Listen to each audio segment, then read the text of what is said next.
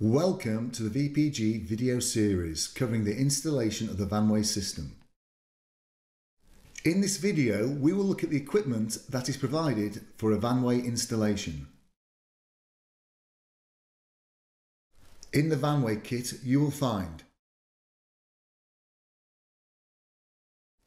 the VanWeigh display unit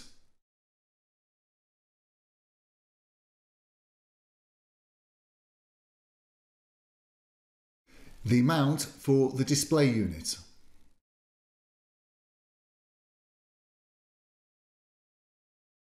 Four axle transducers.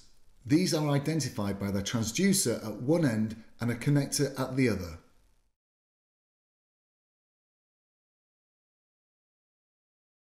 A junction box is provided.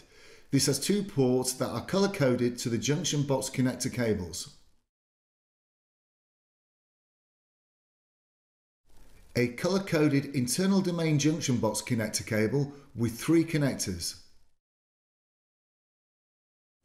A second colour-coded junction box connector cable with one internal domain connector and one external domain connector.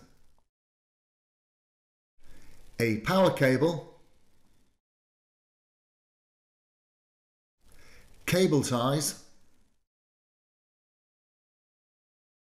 a bag containing cleaning wipes and bonding tape,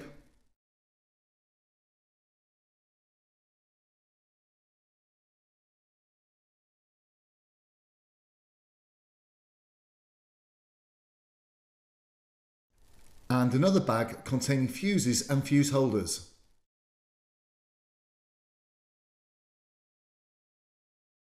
A manual and a packing list is also included.